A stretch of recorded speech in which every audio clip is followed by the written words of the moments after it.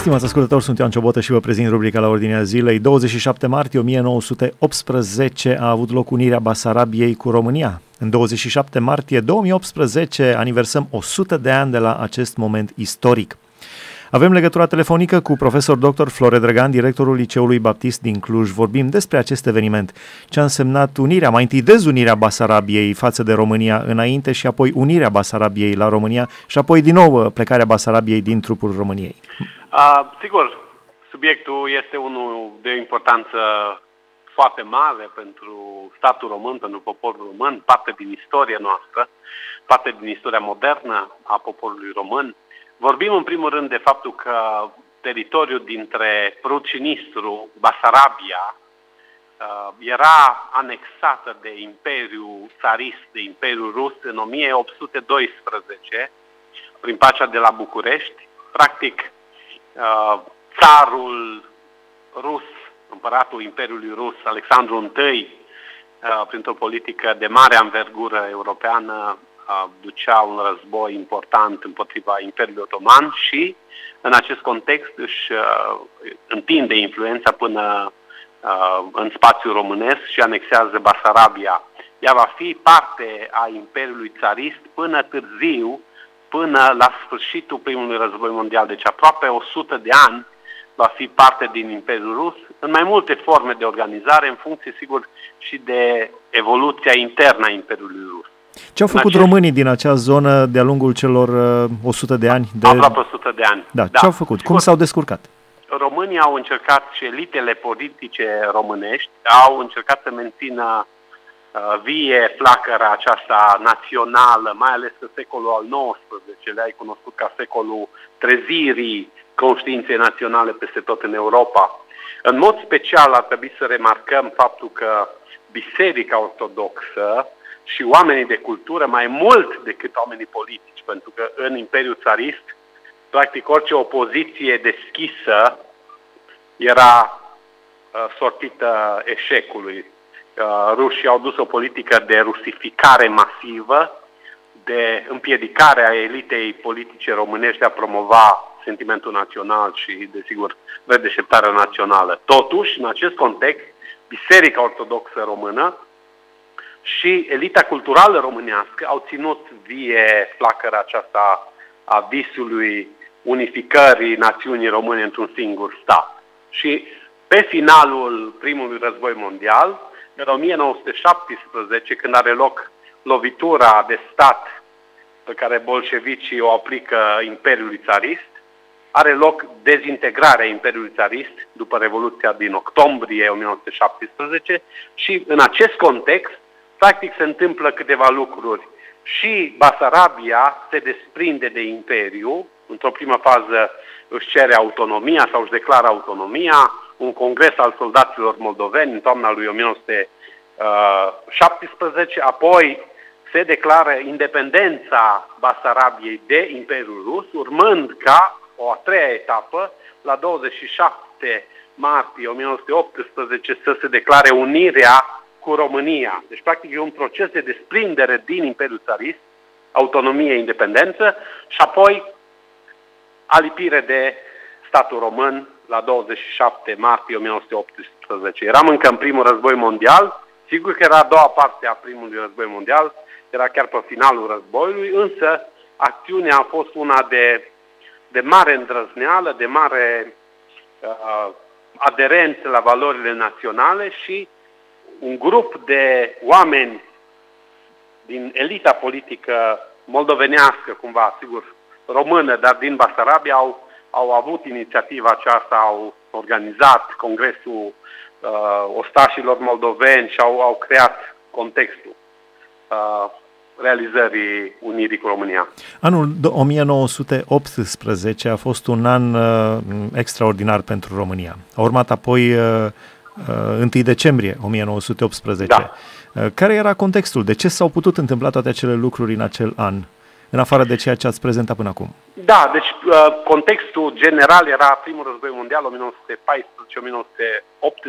1914-1918, război în care România nu va intra în 1914, conștientă de faptul că trebuie totuși să intre, va amâna intrarea în război pentru a-și uh, păstra resursele umane și materiale pentru ca aceste resurse să însemne ceva în a doua parte a războiului. Am avut o elită politică profund inteligentă, profund cunoscătoare a, realităților internaționale și în acest context am amânat intrarea în război până în 1916, când am intrat de partea Antantei, deși inițial noi aveam tratat secret cu puterile centrale.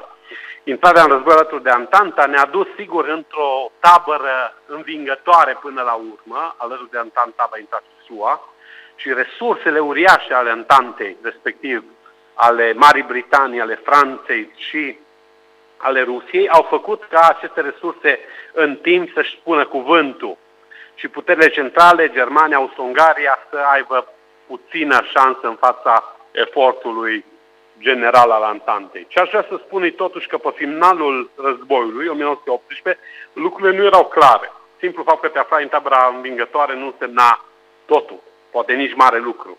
A fost însă opera marilor oameni politici români care au știut să înțeleagă contextul și să-l folosească în uh, favoarea ideii naționale, respectiv a realizării statului unitar român. 1918, uh, atât unirea Basarabiei din 27 martie 1918, cât și unirea Bucovinei din 28 noiembrie și apoi a Transilvaniei din 1 decembrie, practic este opera elitei politice a regelui Ferdinand I, dar și a, dacă vreți, a elitei culturale, a elitei religioase care au ținut legături strânse cu uh, comunități locale, cu biserica, cu instituții de cultură, așa cât erau. Practic, procesul a fost pregătit.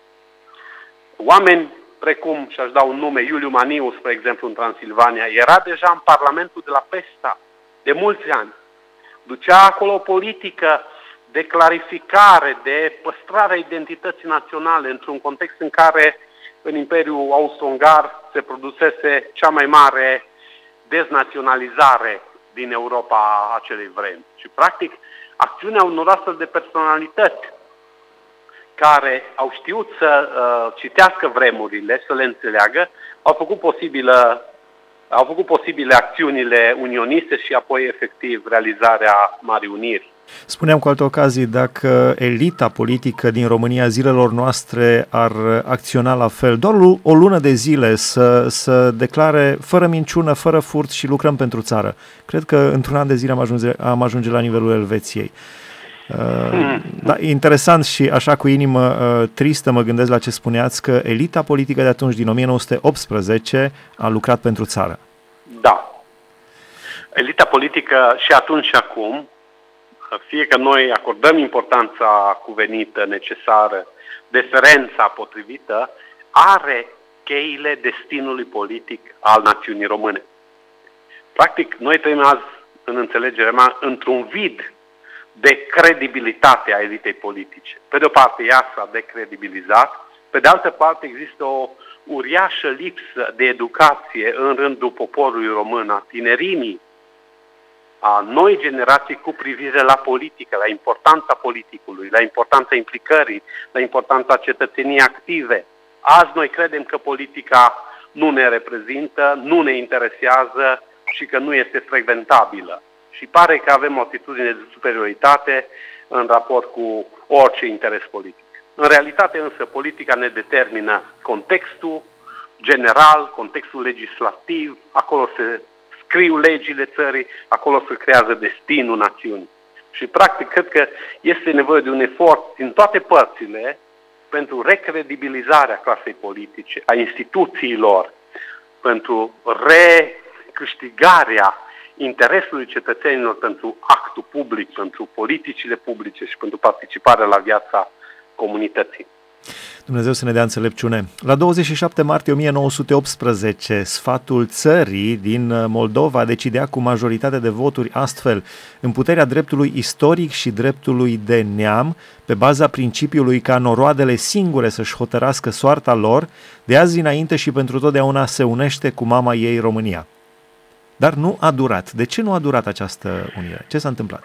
Da, sigur, uh Istoria secolului 20 este una plină de vâltori, plină de momente de turnură. Unul a fost primul război mondial care a creat posibilă, sau făcut posibilă uh, nașterea uh, României mari, dar vine al doilea război mondial, 1939, când puterile revizioniste ale Europei, cele care au fost nemulțumite de pacea după primul război mondial, de sistemul de la Versailles, au reușit să creeze un climat de revizie la adresa uh, tratatelor internaționale, au uh, minimalizat tot ce a însemnat uh, dreptul internațional, de relațiile internaționale, securitatea colectivă și în acest context izbucnește al doilea război mondial cu declarația uh, directă a Germaniei de a rupe în ghilimele cătușele Versaillesului, de a rupe dreptul internațional, relațiile internaționale și securitatea colectivă. Și în acest context, sigur că Germania se înarmează, uh, cucerește sau, mă rog, învinge Franța în 1940 și în acest context, în care principalul garant european, Franța, al sistemului de la Versailles, se prăbușește sub loviturile mașini de război germane, în acest context, practic, și România, ca și aliat al puterilor occidentale, ca și partener în cadrul securității colective uh, de la Societatea Națiunilor și din sistemul de la Versailles, se vede în fața uh, unor vecini ostili, atât Ungaria, cât și URSS, cât și Bulgaria, care din toate părțile vor să sfârșie în bucăți România Mare. Și imediat, după capitularea Franței din 22 iunie 1940, la câteva zile, în 26 iunie, URSS-ul ne trimitea un prim ultimatum prin care ne solicita în mod ferm cedarea uh, Basarabiei.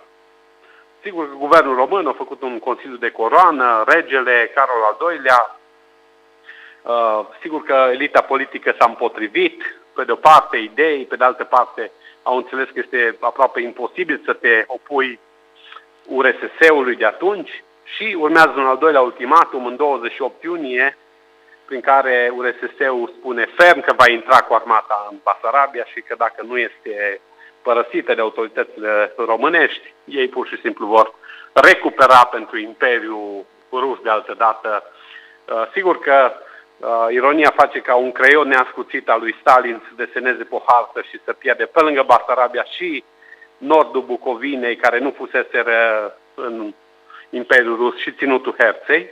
Dar iată că istoria câteodată este ironică și în vremuri de mare frământare, în vremuri de război, lucrurile se rescriu de către învingători, de către cei puternici și nu mai domnește uh, forța legii sau forța dreptului, ci domnește efectiv dreptul forței. La finalul discuției noastre, astăzi uh, a avut loc ședința comună solemnă a Parlamentului dedicată împlinirii a 100 de ani de la această unire a Basarabiei cu România, uh, interesant în absența președintelui Claus Iohannis, dar președinții celor două camere, Liviu Dragnea și Călin Popescu-Tăricianu, au declarat deschis că doresc uh, unirea cu Moldova. Îl citesc pe domnul Dragnea, o spun simplu, deschis și explicit, eu vreau să ne unim cu Moldova. Vreau să fim împreună în Europa, dar ca o singură națiune. România a fost puternică atunci când a fost unită și va fi unită și va fi puternică. Ce părere aveți în zilele noastre? Este posibilă unirea cu Moldova? Da, sigur. Cred că este unul din uh, elementele care ar trebui să construiască un proiect de țară, un obiectiv major, unirea românilor într-un stat românesc puternic, Sigur că în bună înțelegere cu vecinii și cu minoritățile din interiorul statului român, dar în același timp aș spune în mod categoric că un astfel de act nu se întâmplă. Și nici nu poate fi doar o simplă dorință. Ceea ce spunea președintele Camerei Deputaților sună frumos, dar aici cred că este diferența dintre clasa politică actuală și clasa politică de, din 1918, este că ei au pregătit momentul. Cred că și noi azi, dacă am vrea să se întâmple unirea uh, Moldovei cu România, cred că ar trebui să pregătim. Ce înseamnă asta? Înseamnă ar trebui să, nu știu, vă dau un exemplu, 10.000 de burse pentru tinerii studenți moldoveni. Burse care să le permită să trăiască. Sigur că ceva pași s-au făcut, dar ei vin în România, nu au resurse să trăiască, uh, lucrează în condiții și mai degrabă România îi umilește decât îi promovează cum am spus, 10.000 de burse la nivelul european pe care să le dai liderilor politici în 10-20 de ani, s-ar întoarce în Moldova o elită formată la București, să zicem, sau la Cluj, Iași, cu ideea românismului în vene și în suflet.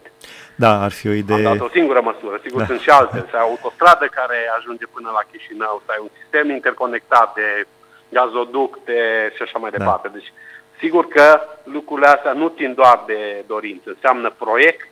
Și muncă. Înseamnă muncă, înseamnă efort, înseamnă suflet românesc.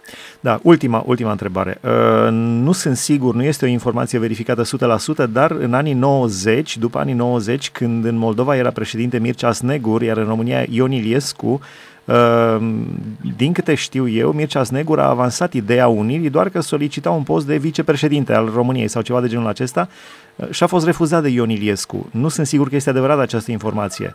Este adevărată? S-au eh, făcut acești pași în anii 90? Da, sigur, în anii 90 a existat un context favorabil.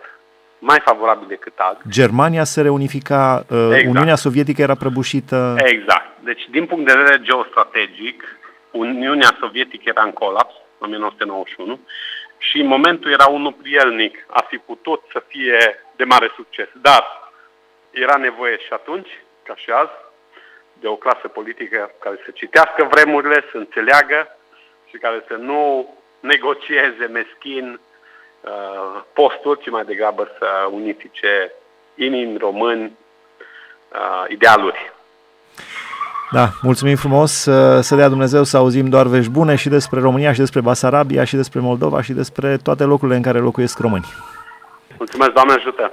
Mulțumim, Doamne ajută, am avut legătura telefonică cu domnul profesor doctor Flore Drăgan, directorul Liceului Baptist din Cluj. Am discutat despre 100 de ani de la unirea Basarabiei cu România. În 27 uh, martie 1918, așadar, Basarabia s-a unit cu mama ei România, așa cum se spune în uh, decizia scrisă atunci uh, a sfatului țării din Moldova. Dar lucrurile știți cum au mers de-a lungul secolului 20. Aici se încheie rubrica la ordinea zilei de astăzi. Sunt Ioan Ciobotă, vă mulțumesc pentru atenție, Dumnezeu să vă binecuvânteze.